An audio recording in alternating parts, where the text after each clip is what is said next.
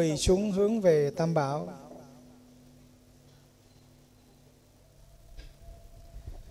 Xin à, tốt như hoa sen, rạng ngời như bắt đầu. Xin quay về nương tựa bậc thầy của trời người. Nguyện đem lòng thành kính gửi theo đám mây hương phường Phật khắp mười phương. Cũng dường ngói tám bảo thề trọn đời giữ đạo theo tự tánh làm lành. Cùng pháp giới chúng sanh, cầu Phật từ giả hộ tâm, Bồ đề kiên, có chi tu học vững bền. Xa bề khổ nguồn mê chống quay về bờ giác. Hôm nay ngày mùng bảy tháng chạp âm lịch, đệ tử chúng con đạo tràng. Tư vấn thiền tử, chư tăng Phật tử cung kính quỳ trước đại vàng. Đột nén tâm hương cúng dường kỷ niệm ngày Đức Thế Tôn thành đạo. Đêm pháp màu cứu độ nhân thiên chúng con một giả chí thành. Nguyện nói gương à, đức từ phụ thế tôn vượt muôn ngàn chướng ngại tinh tấn tu hành. À, tự giác giác tha giác hành viên mãn nguyện đêm công đức này cầu nguyện Phật.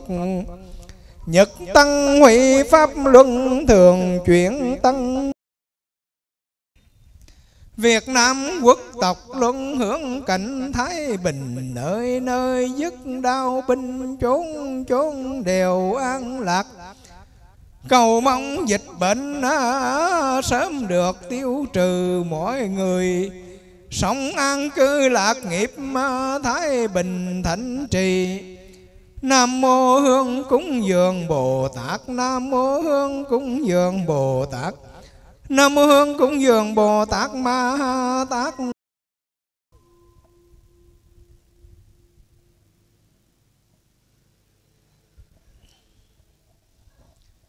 Phạm vương vô thường tôn tam giới vô luận thân thiên nhân chỉ đạo sư tự sanh chỉ từ phụ nhất niệm.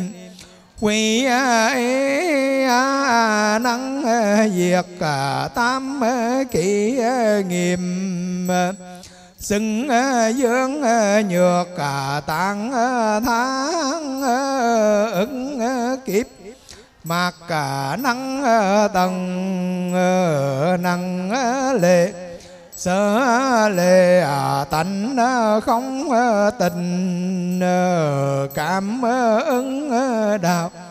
Giao nạn tự nghi ngà thư đạo tràng à, như để à, châu à, thập. Phương chư phật ảnh hiền trung ngã, tăng ảnh hiền chư phật tiền đầu diện tim tục quỷ mạng lềm chi tâm định lệ nam mô tần. Hư không biện pháp giới quá hiền. Vì lai thập phương chư phật. Tôn pháp hiền thánh tăng thường. Trụ tam bảo.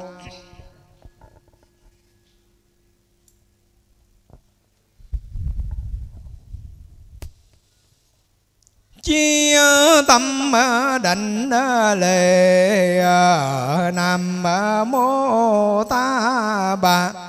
Giáo chủ điều ngư bổn sơ thinh ca mâu ni phần đường lái hạ sanh di à, lạc à, tôn à, phần đại trị.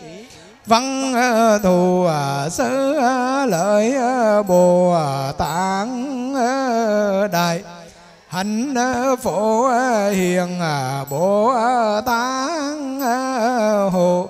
Pháp chư tôn bồ tát linh sơn ờ, hội ờ, thường ờ, phật bồ tát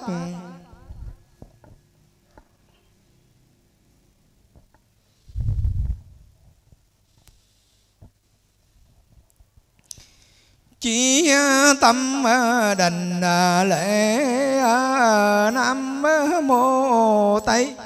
Phương cực lạc thế giới đại từ đại bi di đà phật.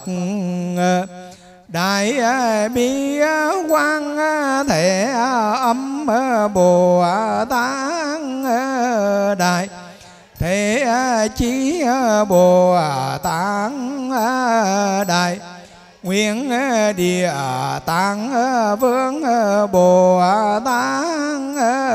Thanh tịnh đại hài à, chúng bồ tát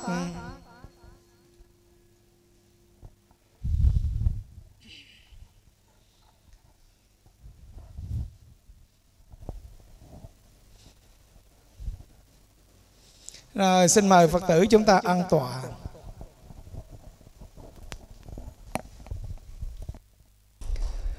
Nam mô Bổn sư Ca Mâu Ni Phật. À, kính thưa đại chúng, chúng ta đang ngồi nghe giảng hôm nay, nghe pháp hôm nay. Mà chúng ta phải đeo khẩu trang, nụ cười của chúng ta không được biểu hiện. Nhưng mà không có có nghĩa là cái miệng cười không được không thấy cái miệng cười có duyên không nghĩa là con mắt cười không được. Đúng không quý vị? À, hôm nay chúng ta rất là rạng rỡ à, mà điều đặc biệt của chúng ta hôm nay nó hồi sáng thầy có làm mấy câu thơ đó. À, Phật đạo à, thành đạo năm nay báo tin lành. À, Sài Gòn thành phố hóa màu xanh. À, mọi người hớn hở lo vui tết. À chắp tay con lại đấng cha lành. Lại ai quý vị biết không? Lại đấng cha lành từ phụ thế tôn của chúng ta ngày hôm nay đó là ngày trọng đại nhất. Ngày trọng đại nhất của phật giáo. Ngày này chính là ngày khai sinh ra đạo phật. Chứ không phải là ngày đản sanh, là ngày khai sinh ra đạo phật. Bởi vì Thái tử Tất Đạt Na ra đời Đi tu mà không thành đạo Thì làm sao có đạo Phật? Đúng không? Đạo Phật có từ ngày bắt đầu từ ngày mùng 8 sau khi sao mai vừa ló dạng đúng ra năm nay đó à, năm ngoái đó thì chưa có dịch mạnh. Thì chúng ta đó à, ở lại với nhau để đúng 3 giờ sáng 4 giờ sáng chúng ta dậy đốt đèn và niệm danh hiệu Đức Bổn Sư. Nhớ không? Nhớ hoài kỷ niệm năm năm ngoái đúng không? Một kỷ niệm rất là đẹp. Rồi chúng ta ngồi thiền trà bàn chuyện về Đức Thế Tôn. Như vậy hôm nay á, là ngày Phật thành đạo nói cho đúng đó. Không phải là chữ Phật thành đạo. À, không phải là lễ Phật thành đạo. Mà lễ Thái tử Tất Đạt Đa thành tựu đạo nghiệp giác ngộ của mình. Nhưng mà nói dài quá không hiểu. Thành ra bớt đầu bớt đuôi bớt xuôi bớt ngược bớt còn chữ lễ thành đạo. Ha không đại nói là vậy. Chứ thành đạo là cái gì? Đạo là con đường đúng không? À, thành tựu à, thành là hoàn thành hoàn thành con đường. À. Như vậy đó, cái sự thành tựu giác ngộ của đức phật, nó quan trọng vô cùng.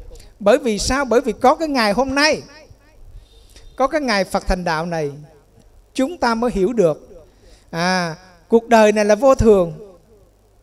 Mà hôm vừa rồi một trận dịch, nó trải qua như thế, chúng ta có thấy vô thường không quý vị? Có không? Ai thấy được vô thường, đưa tay thầy coi coi. Vâng. Đã biết vô thường, đã biết vô thường, sao còn làm khổ nhau? Đại thấy chưa? Đã biết vô thường, sao lại còn vắng vương? Chúng ta chưa, thực ra chúng ta chưa biết vô thường nhiều lắm. Chúng ta còn mới có cảm nhận chút chút thôi. Chúng ta cảm nhận cái, chưa phải là cảm nhận vô thường mà nói cho đúng là chúng ta sợ chết và bất an. Thấy họ chết quá đi thấy họ bệnh quá đi chúng ta bất an. À chúng ta sợ. Rồi nó chúng ta sợ nó. À chùa nó thì chúng ta đến chùa thì chúng ta sợ mà đến chợ thì chúng ta cứ đi. À như vậy nó là chúng ta chưa cảm thấy được vô thường đúng không? À Đấy, quý vị thêm. Như vậy đó bây giờ mình phải hiểu chữ đạo Phật trở lại chữ đạo Phật. À, rồi để chúng ta hiểu hơn một chút nữa là thành đạo là cái gì. Thái tử Tất Đạt Đa à, xuất gia vào ngày mùng mùng mấy? Mùng 8 tháng tháng 2 đúng không? À mùng 8 tháng 2 ngày đi xuất gia. Rồi ngày rằm tháng 4 đó à, là ngày Phật đản sanh rồi cho đến bây giờ cái ngày mùng 8 tháng chạp là ngày Phật thành đạo. Cái ngày mà lạnh rét nhất à, à cái ngày lạnh rét nhất đêm đông lạnh lẽo Chúa sinh ra đời phải không? À nhưng mà không phải. À, chúng ta đạo Phật trong cái giai đoạn này chúng ta phải hiểu cái thành đạo của Đức Phật là sự thành tựu vô cùng lớn. Chúng ta có trải qua rất là nhiều biến cố của cuộc đời nhưng mà chúng ta không có đạt được sự giác ngộ. Còn thái tử tất đạt đa thì khác với chúng ta rất là nhiều. Khác ở chỗ nào? Ngài nhìn thấy à cái lá cây rơi. Ngài cảm nhận được vô vô thường. Còn chúng ta thấy lá cây rơi nhiều chưa? Lá cây rơi, thấy rơi lá cây rơi hoài mà chúng ta không cảm nhận được vô thường. Chúng ta thấy hoa chỉ biết khen hoa đẹp thôi. Nhưng mà chúng chúng ta thấy hoa là cái gì quý vị? Hoa là cái gì biết không? Tại sao cúng hoa cho phật biết không? Không phải cúng hoa cho nó đẹp. Hoa là biểu tượng của vô thường đó quý vị. Thành ra đó, họ cái người tuổi hoa là cái tuổi mà nó biến đổi rất là là nhanh. Cuộc đời như thế là là hoa sớm còn, tối mắt nở ra rồi rồi tàn. Đấy, quý vị thấy không? Cuộc sống của chúng ta nó như thế đấy, cúng phật đem hoa cúng phật là cũng phải nghĩ, nghĩ được cái lẽ vô thường của cuộc đời này. Nếu ai biết được cái lẽ vô thường thì cuộc đời này thì trong cơn đại dịch vừa rồi chúng ta rất là bình bình tĩnh. Chứ không phải bình an. Tôi nói thật quý vị không phải bình an mà gọi là bình tĩnh. Bình tĩnh. Bình tĩnh đây là gì? Bởi vì chúng ta biết rằng dầu chúng ta có sợ thì dịch vẫn đến. Chúng ta có né thì dịch vẫn đến như thường chúng tôi nói thật quý vị chúng tôi làm việc à, đi này đi đó đó có nhiều người phật tử họ thấy tôi ra phát quà à, họ la họ kêu trời ơi sư phụ ra như vậy rồi nó lây bệnh làm sao? À rồi tôi ra tôi chia sẻ rau rác với người ta phật tử một chút à, bà con ngoài trước tí họ cũng la họ cái bây giờ tụi con không sao còn thầy bệnh thì sao? À, thầy bệnh ai lo? Tôi kêu không có sao phần nào có đó có chết cũng lỡ có chết để mà đã là chết. À, đã nghiệp hết. Thì không chết kiểu này cũng chết kiểu khác. À, nói như vậy không phải là mình chủ quan. Mình vẫn tuân thủ 5 k rõ ràng. Thành ra quý vị nhớ hồi nãy quý vị ăn không? Thầy nói là ăn có quyền mở khẩu trang. À, nhưng mà lên nghe pháp đông người là chúng ta phải đeo khẩu trang. Để làm gì? À, để mà chúng ta thể hiện cái tinh thần của chúng ta là tự giác đã đề phòng hết mức rồi. Mà nếu lỡ nó có bị thì chúng ta cái này cũng biết là đây là là do nghiệp chuyển mà thôi. À, chứ không có gì cả. Do đó khi mà chúng ta đó quý vị biết đạo có nhiều nhiều đạo. Chứ không phải là là chỉ có một đạo Phật chúng ta. Mà đạo Phật chúng ta được gọi là đạo Phật chữ Phật. Đạo Phật là đạo giác ngộ. Chứ bây giờ quý vị biết ai sống trong gia đình mà gia đình hạnh phúc thì họ người họ nói là sao? Hai vợ chồng đó nó sống đúng đạo vợ vợ chồng, cho nên gia đình nó hạnh hạnh phúc. Ai sống đúng đạo thì người đó hạnh hạnh phúc. Nhưng mà cái hạnh phúc trong gia đình khác mà cái hạnh phúc giải thoát giác ngộ là là khác. Ừ. cái hạnh phúc trong gia đình đó là cái vui trong gia đình, cái vui để rồi rồi khổ còn cái khổ của người tu nó là cái khổ để rồi. Rồi vui. Bây giờ quý vị ngủ tới 4 5 giờ thậm chí 7 8 giờ quý vị mới mới dậy. Còn chúng tôi trong chùa thì 3 giờ chúng tôi dậy rồi quý vị nếu mà quý vị dậy như vậy quý vị chịu đâu nổi đúng không? Rồi nếu mà chẳng hạn ăn uống kham khổ như mấy thầy thì quý vị cũng không chịu nổi. Nhưng mà cái khổ đó là khổ để mà mà vui. Còn quý vị ở ngoài đời quý vị vui để rồi rồi khổ. Đây, thành ra cái đạo có cái đạo đưa đến hạnh phúc, tuyệt tuyệt đối, và cũng cũng có cái đạo sống đúng, nó đưa đến hạnh phúc, nhưng mà không phải hạnh phúc tuyệt tuyệt đối. Chỉ có đạo Phật mới đưa đến hạnh phúc tuyệt tuyệt đối mà thôi. Bởi vì chỉ có sự giác ngộ rõ ràng, thì chúng ta mới sống cuộc sống hạnh hạnh phúc. Biết rằng cuộc đời này có sanh, ác có tử, thì có gì đâu phải sợ covid đúng không? Không có gì phải sợ covid cả. Có sanh có tử có sống có chết. Có ai không chết cái nào có ai không chết không? Có ai sống hoài không chết không? Không có. Tôi bảo đảm là không bao giờ có chuyện đó cả. Đức Thế Tôn còn ta la thị tịch Tức là Đức Phật của chúng ta Còn mất ở rừng ta la. Còn chúng ta là người phàm người tu. À, Người phàm thì làm sao mà không chết được? Thành ra không chết bệnh này cũng chết bệnh khác. Như vậy có gì đâu mà sợ. Đúng không? Nếu chúng ta dùng cái tinh thần vô ý đó à, Chúng ta chỉ sợ Sợ là sợ cái gì? Sợ mình có bệnh lây cho người khác Chứ không phải sợ chết. Đại quý vị nhớ nhau một cái này cũng sợ bệnh nhưng mà sợ bệnh mình đem bệnh của mình mình lây cho người khác làm cho người khác khổ đau thì đó là mình cái cái đó là cái người tu đề phòng. À, còn người tu không sợ chết khi chúng ta đã biết rồi thì chúng ta không sợ chết. Bởi vì chết trước cũng vậy chết sau cũng vậy.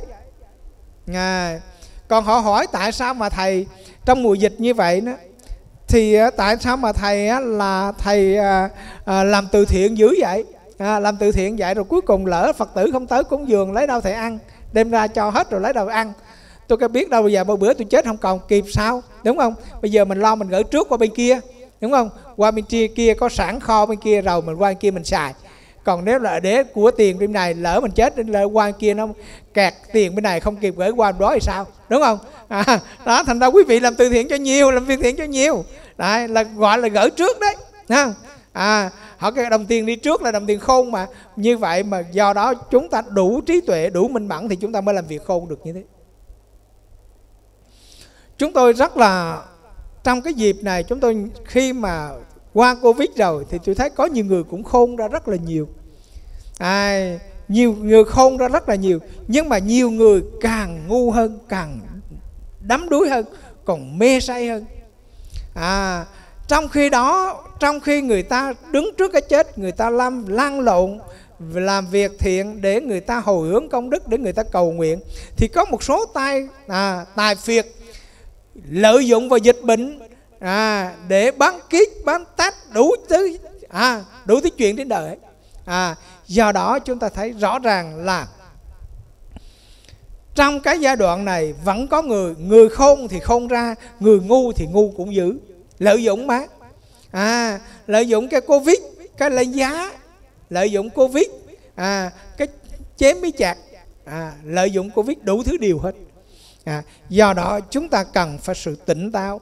Mà nhờ muốn có được sự tỉnh táo thì phải làm gì quý vị biết không? Phải tu tập mà thôi. Không tu tập không có sự tỉnh táo không có tự định tĩnh được. À, tu tập luôn luôn tu tập quán chiếu cuộc đời này là vô thường. Cuộc đời này đức phật sở dĩ vì sao?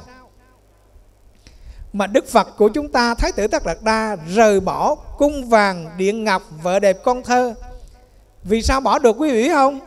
Còn chúng ta thì không bỏ được. Con mà đi có chút là chịu không nổi rồi. Tôi nói quý vị là huynh trưởng phật tử thuần thành không à? Một số huynh trưởng phật tử thuần thành.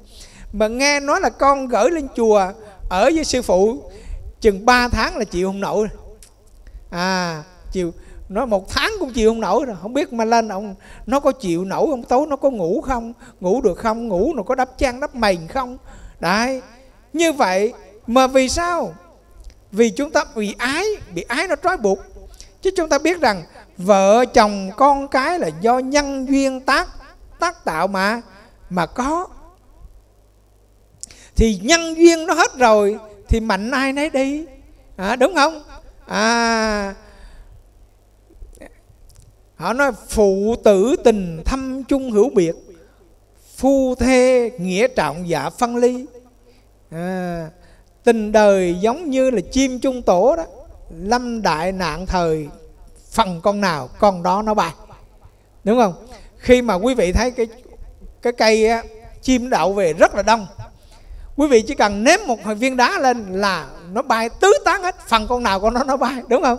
À, như chẳng hạn covid mắc ai covid ai mắc covid ai chết thì chết ai sống sống chứ chứ đâu có cái bây giờ là tôi chết cái tôi rủ bà theo đâu đúng không? Không rủ được.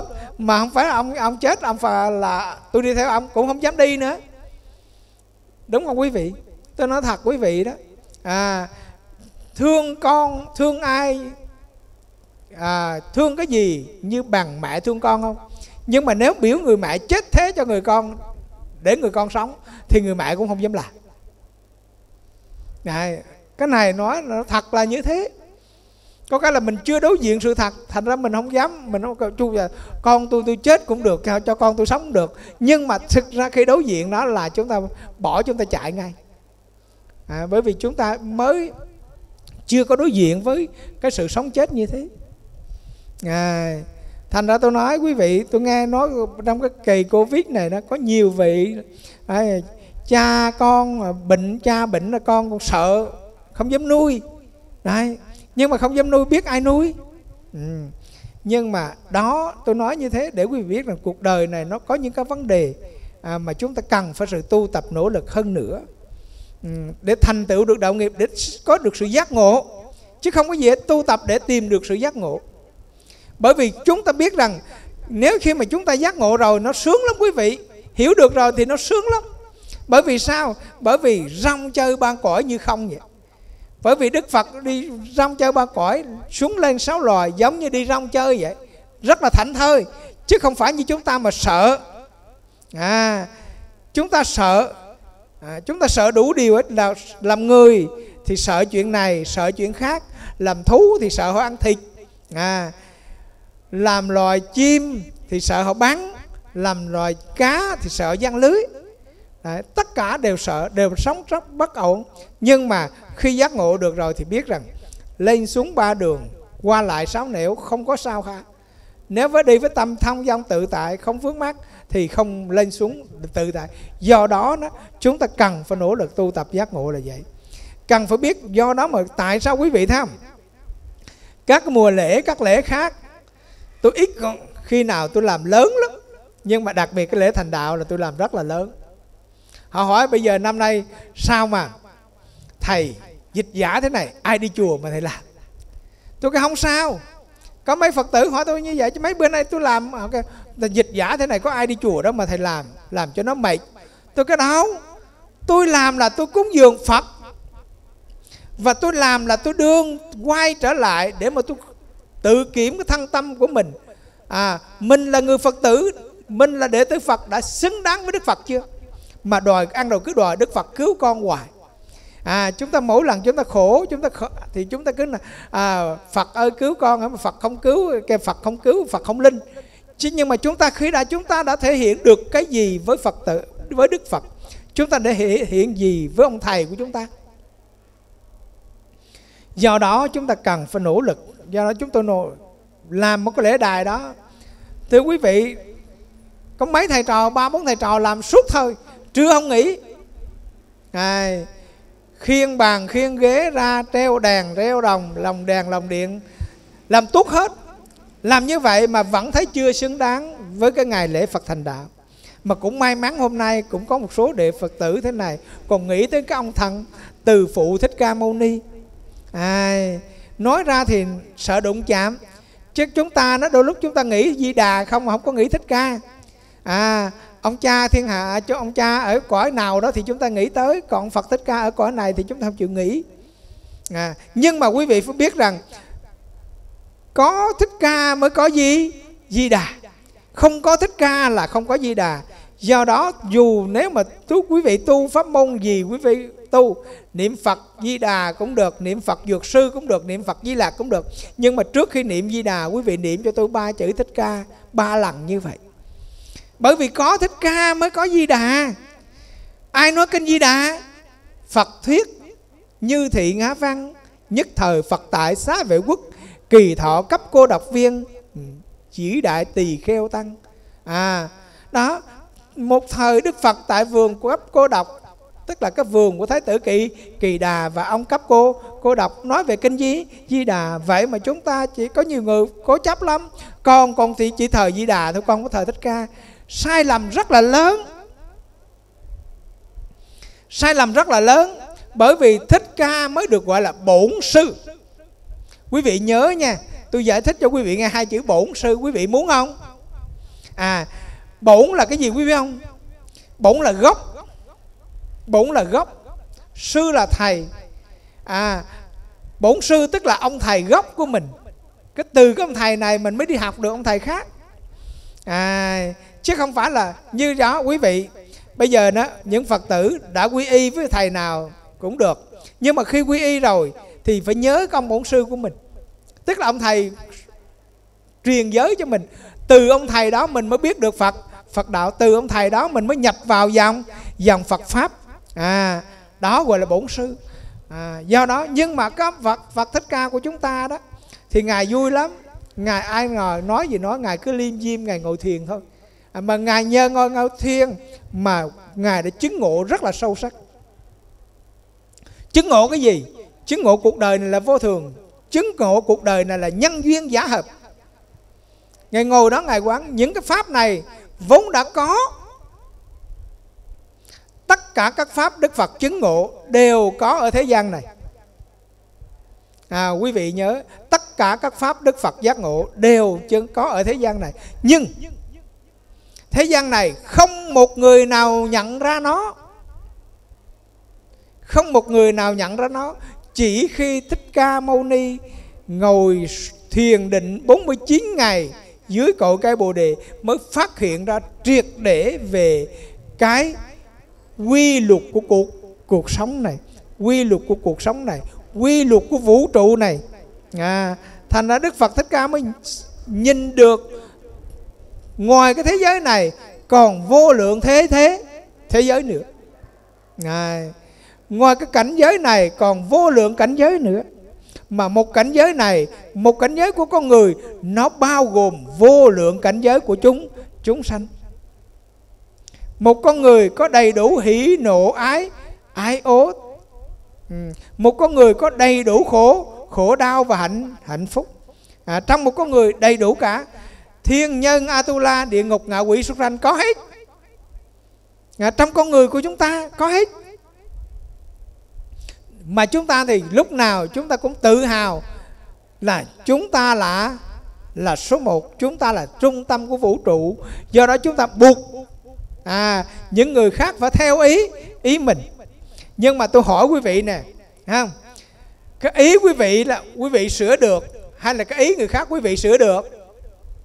Tâm quý vị quý vị sửa hay là tâm của người khác quý vị sửa được? Chỉ có tâm của mình mình mới sửa được đúng không? À mà ăn đầu mình đó, thì mình ăn đầu mình cứ đi sửa tâm người ta sửa tật sửa tính người ta thôi. À, do đó vì do đó mà có cái nếu như chẳng hạn mình sửa họ không được thì mình phải tu cái tâm mình sau đó để nó nương vào trong cái đối diện với cái nghịch cảnh mình không bị khổ khổ đau. À do đó họ gọi là đạo Phật là đạo để mà thích thích nghi thích ứng. Cho nên Đức Phật mới có gọi là ứng thân.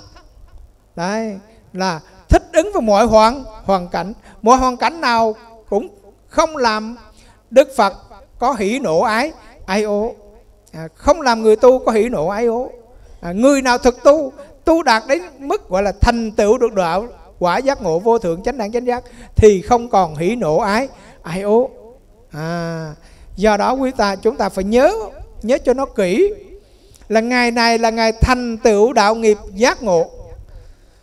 Giác ngộ tức là hiểu rõ cuộc sống nhân nhân sinh này. À, hiểu rõ chứ còn chúng ta cũng giác ngộ chứ không phải là không giác ngộ nhưng mà chúng ta giác ngộ ít lắm.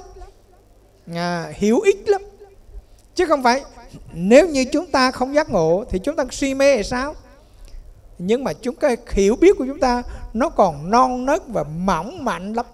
Thành ra cái hiểu của chúng ta nó dễ bị cái si mê nó che che lấp. À, chứ không phải là chúng ta không hiểu đâu. Nhiều lúc chúng ta đi ngang qua chùa chúng ta cũng giật mình. À, nhưng mà à, qua khỏi phút chốc đó rồi thì chúng ta là bị si mê nó nó kéo. Như chẳng hạn chúng ta đó khi mà chúng ta chuẩn bị tinh thần là chúng ta đi chùa. À chúng ta quyết tâm lắm hồi đầu quyết tâm lắm.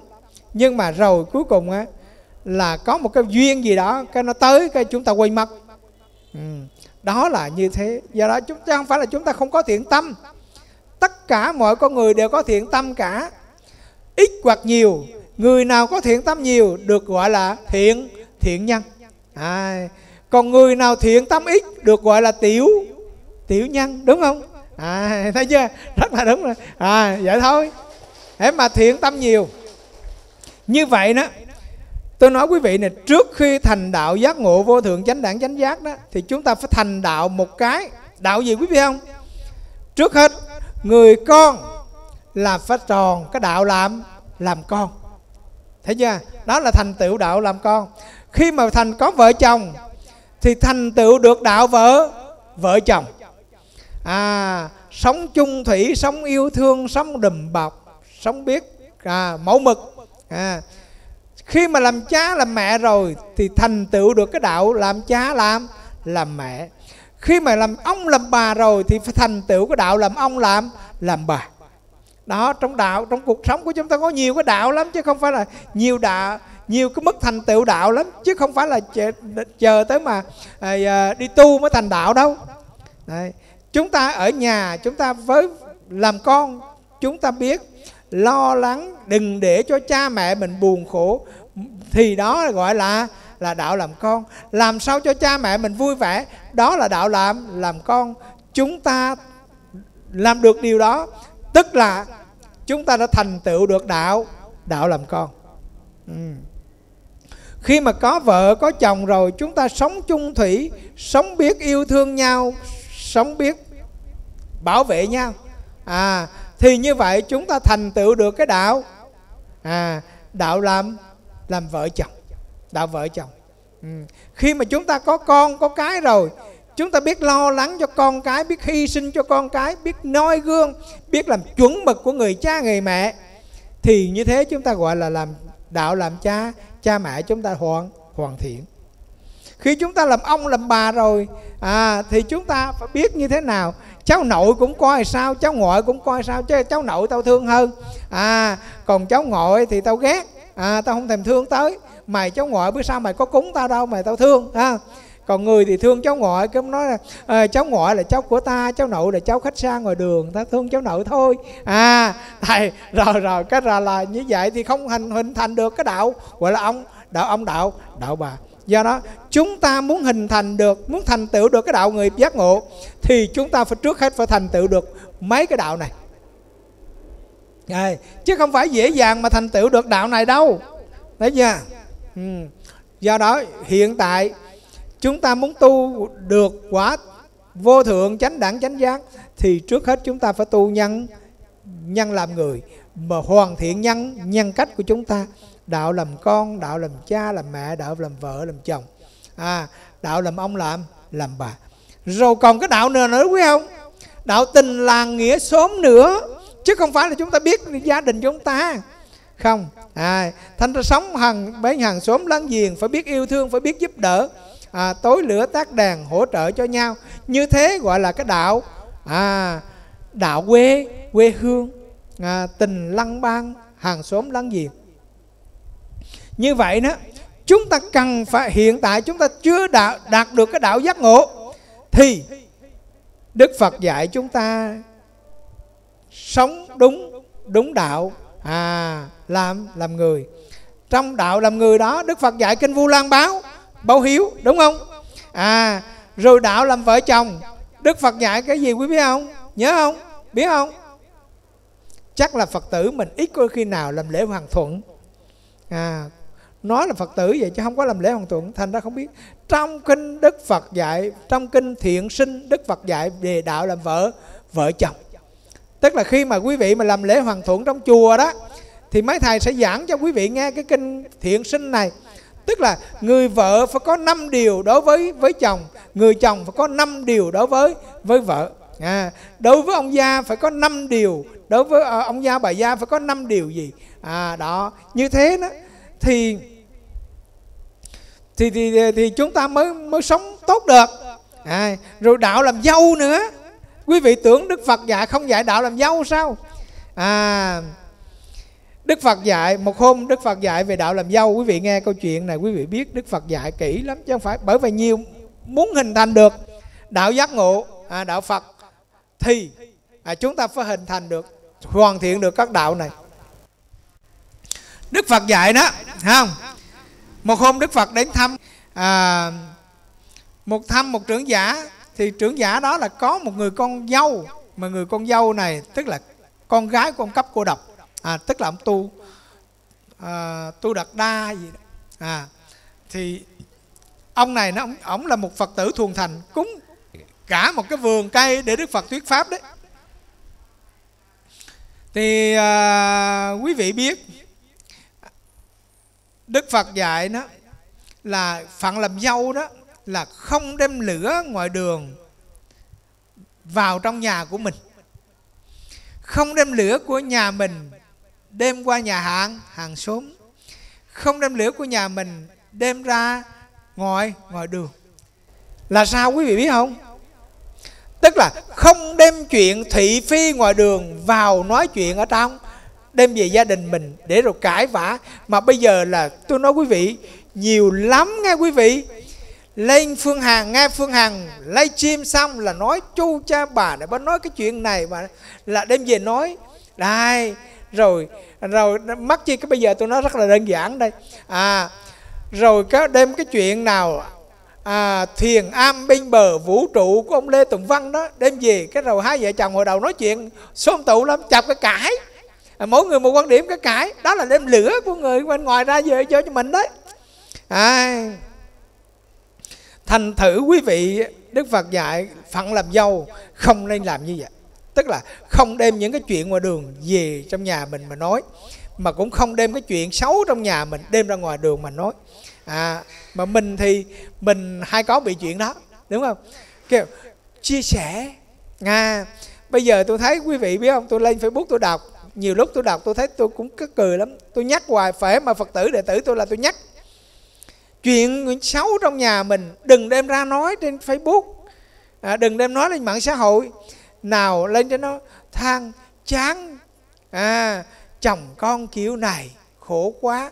Rồi đưa lên mấy cái bài nào là à, xỉn sai gì đó nói tung lung toàn lăng hết. Họ khi mà họ đọc bài đó họ nghĩ là gia đình mình có chuyện gì đó. Họ suy diễn. Mà quý vị biết không?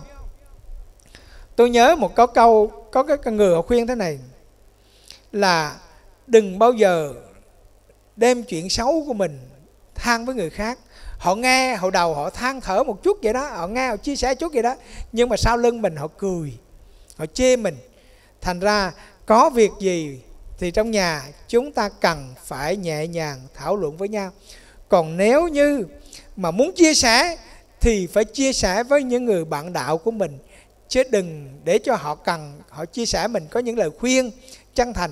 Chứ đừng đem ra gặp ai nói đấy, gặp ai nói đấy là nguy hiểm vô vô cùng. À mình nghèo thì cũng chả ai mình than lên trên mạng cũng chả ai cho mình hết. Mà họ còn chê nữa. À, mình giàu nó thì họ mình họ cũng chả ai vỗ tay trên mạng hết. Nhưng mà đôi lúc họ còn chửi sau lưng mình nữa. Họ ờ, cái à, con nó chảnh nó khoe mẽ. Ai thành ra nó nhiều vấn đề lắm. Do đó chúng ta biết là tất cả các cuộc sống của chúng ta nếu muốn hạnh phúc thì phải có gì quý vị? Thì phải có có đạo và thành thành đạo. Đây nhớ ha. Chúng ta sống có đạo chúng ta có làm con chúng ta có đạo làm con và thành tựu thành đạo làm thành tựu đạo làm con thì đứa con đó là ngoan hiền hạnh đem là hạnh phúc cho người người khác. À, tôi hôm mấy hôm hồi xưa tôi mới đi cúng cho một cái à, thắt của phật tử. À, thì cái thằng à, con đó thì lâu nay nó không có đi chùa mà nói chung đó là ai mà nghe tới nó là cũng sợ rồi mà tôi khuyên nó con đi chùa đi. Cái đầu hôm tối nó đi, nó mới đi chùa. Nó đi chùa. Thì tôi mới xưa tôi mới ngồi tôi mới nói tôi cúng xong tôi mới ngồi tôi nói con thấy không? Hôm nay con đi chùa đó tối con đi chùa đó con thấy con đem lại niềm vui cho biết bao nhiêu người không? Con đi chùa là mẹ con vui mẹ con thấy lâu nay con không đi chùa mà con đi chùa là mẹ thấy đi nhậu không à, à thấy về chiều thứ bảy là về thấy nhậu xỉn không? À mà bữa nay thấy nó không nhậu xỉn là vui một cái an tâm một cái. Thấy nó đi chùa nó cầu siêu cho cha nó là mừng một cái. Mẹ con vui chị con vui.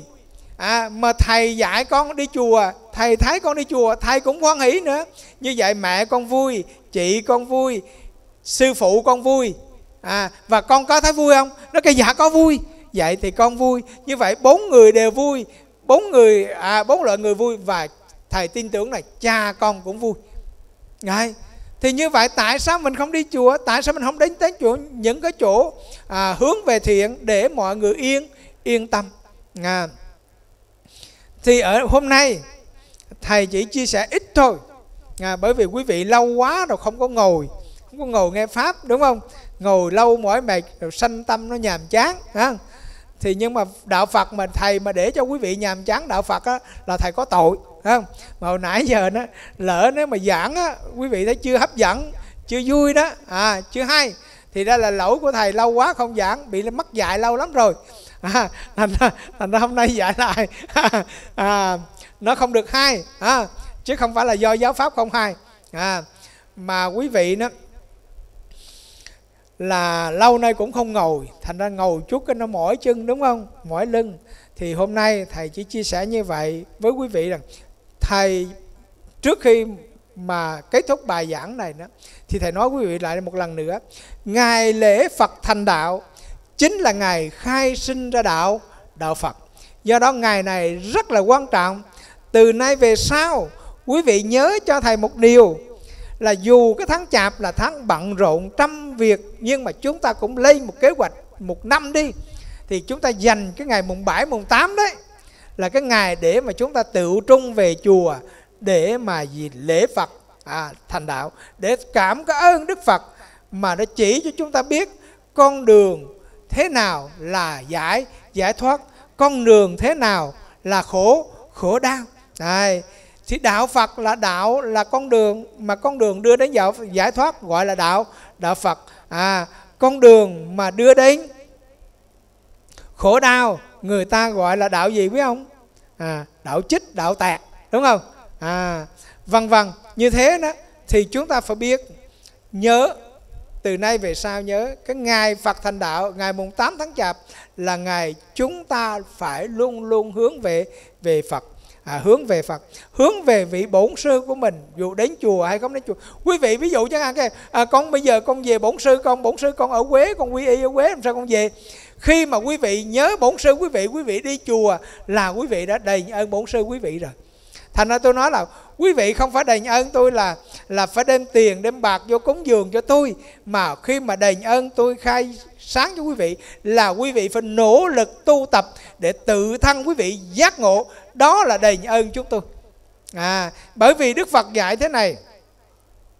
Trước khi đức phật nhập niết bàn đức phật có nói anh an hỏi công đức của đức phật như thế thì chúng con biết làm sao mà mà mà mà ghi đền đáp cho được? Đức phật mới nói thế này công đức của đức phật á thì không thể nào dùng bút mà tả được. À, mà chỉ có cái cách là tiếp dẫn hậu lai thì mới báo phật ân ân đức. Tức là dìu dắt người đi đi sau thì mới báo được ơn đức đức phật. À, hôm nay gặp lại quý vị chúng tôi rất là mừng. Mừng lắm. Mừng là chúng tôi còn sống để gặp quý vị. Mừng quý vị còn sống để gặp chúng tôi. À, à, thì một lần nữa à, thầy kêu gọi quý vị nỗ lực tu tập hơn nữa để chúng ta đối diện với cái cảnh à, cuộc sống đầy bất ổn này. Cuộc sống này dịch này quý vị thấy sóng biển không? Sóng biển không? Sóng đợt này nó tới rồi nó lạng thì cái sóng sau nó sẽ sẽ có tiếp. Do đó dịch này qua đi thì dịch khác sẽ sẽ tới. Nếu như chúng ta không chuẩn bị tâm thức bình tĩnh không chuẩn bị được trí tuệ sáng suốt để đón nhận phong ba bảo tố của cuộc đời thì nó sẽ dập chừ chúng ta và trôi lan chúng ta trong những khổ đau và bất hạnh.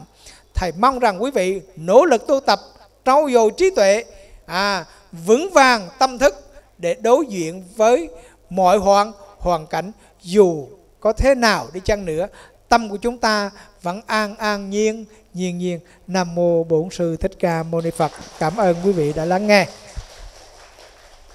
À, có ai à, có câu hỏi gì thắc mắc không? Không phải không? À, không thì hôm nay đó là cái kỳ này chúng ta hơi đặc biệt. Do đó chúng ta à, không phải đứng dậy hồi hướng không. Mà chúng ta sẽ à, ngồi im như vậy thầy quay vô trong chánh điện và chúng ta tụng hồi hướng à, sau đó là chúng ta tự quy y phật để chúng ta trở về với cái bản tánh thanh tịnh của chúng ta. Nha phải có tự quy y phật đường hoàng ha? A di đà phật hôm nay là cái buổi thuyết giảng như thế đấy.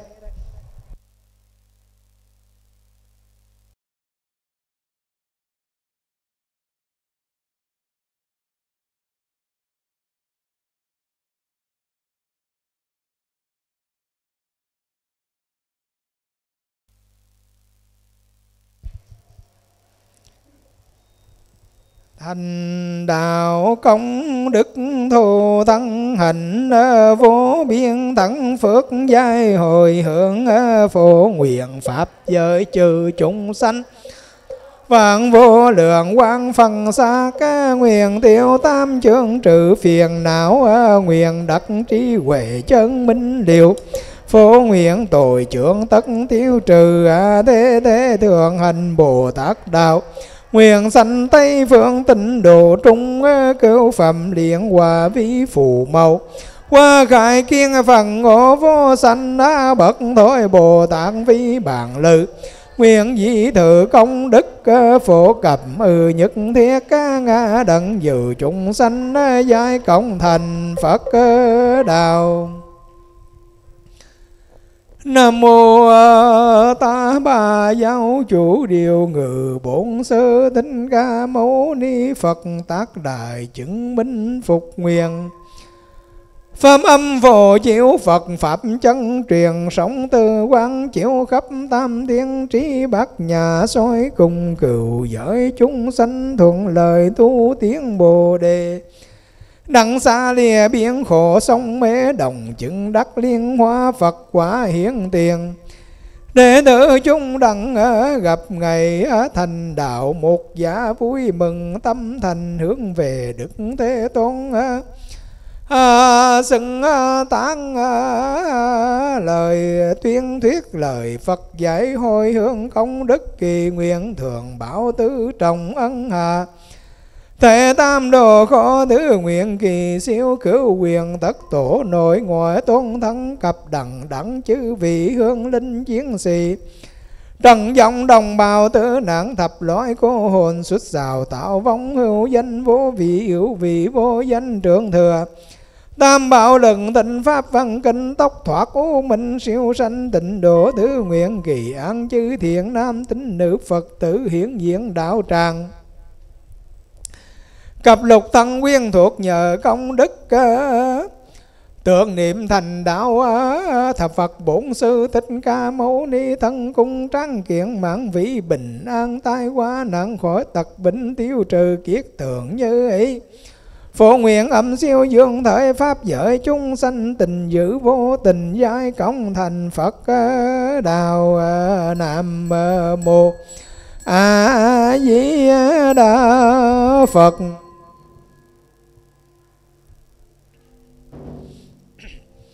Từ à, quý à, y à, Phật đường nguyện chúng sanh thề. Giải đại đạo phát vô thượng tâm.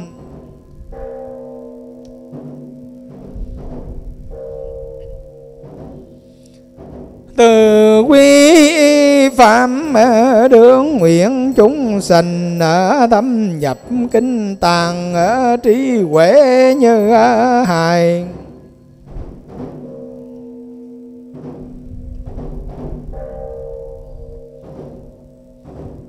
từ quy tăng đường nguyện chúng sanh thông lý đại chúng nhất thiết vô ngài.